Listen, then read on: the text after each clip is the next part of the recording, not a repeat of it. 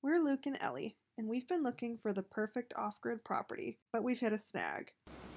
It's just, there's just nothing left.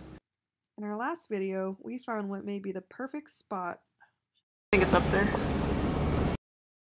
and we just might finally have some good news to share in this episode.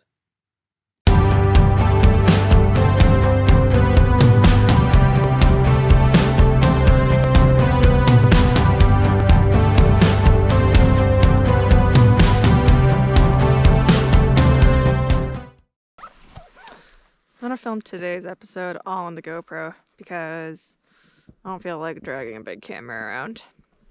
And our drone is currently being fixed because someone who shall not be named. I'm kidding. new at this. I'm kidding.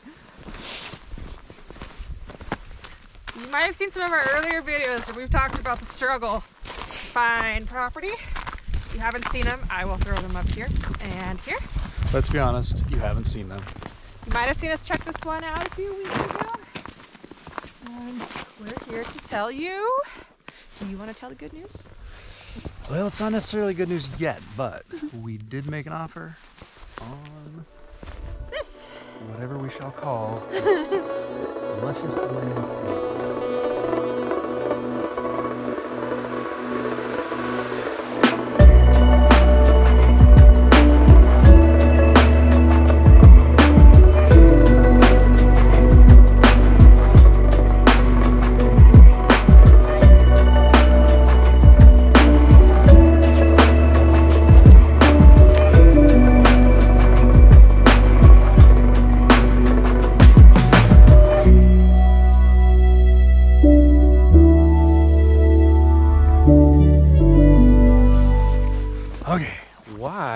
chose this property?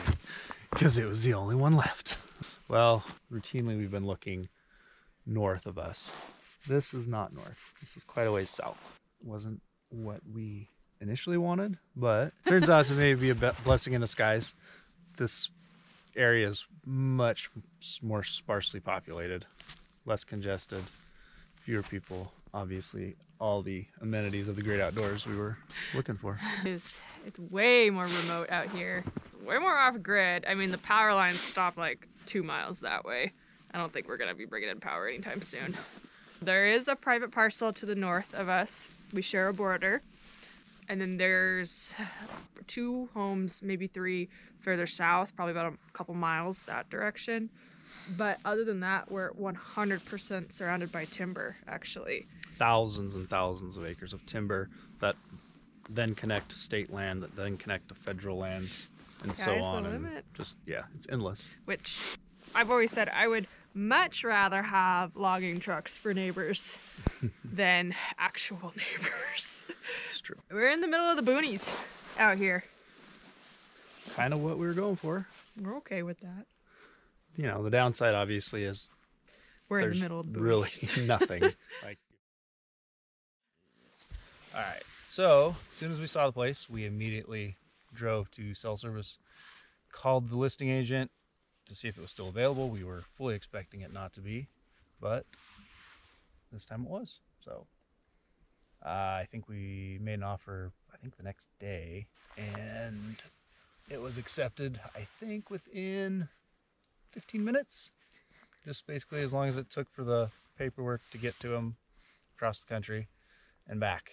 So That's a little nerve wracking. that wa- it was that doesn't happen. it was relieving, but also a little bit unnerving because why is this guy so anxious to sell this property? Well, it turns out he's never even seen the property. He bought it, I think, just because it was probably cheap when he bought it, and now he wants it gone. So now it's gone. Hopefully, now it's our problem. Uh, we do have to find out if we can legally access it, though. The road out here is a little confusing. You look at any online map, it shows a county road pretty much to this property, right through this property. But then if you look at another map, it shows that county road ends and this turns into a completely different road that is probably a private road. So we got to get that sorted out. Um, if it is a private road, we just need to find out if there's an easement to it we're through it. If it's county road, should be good to go, but there is some confusion there. And we'll we'll we'll have the answer when the title paperwork comes back. Just to make sure everything is, well, there's no surprises. Yeah.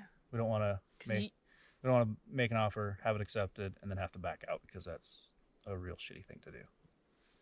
'cause you need access to your property. Exactly. But if you can't drive to it, then You're SOL. sorry, we're gonna be that asshole and we're gonna back out. But we're pretty confident.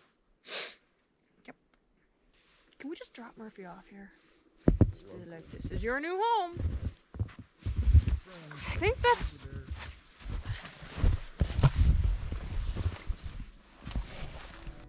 So there you have it. We made an offer on this secluded lot. As long as there's no surprises, you are watching the two newest owners of a little slice of paradise in northern Idaho. Now the real work begins. We've been waiting for this moment for years. We'd love it if you'd follow along on our journey by subscribing to the channel. This changes everything.